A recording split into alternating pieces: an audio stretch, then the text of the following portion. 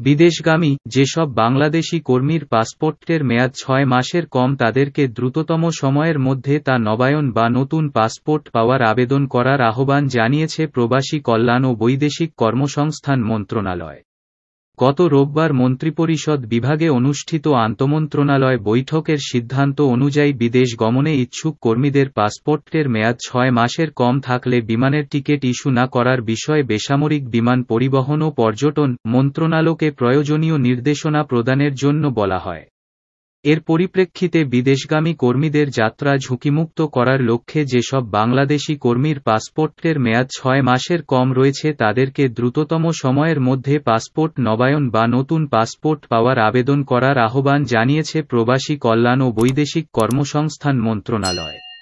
আজ এ পর্যন্ত ভালো থাকবেন, সুস্থ থাকবেন, আল্লাহ হাফেজ।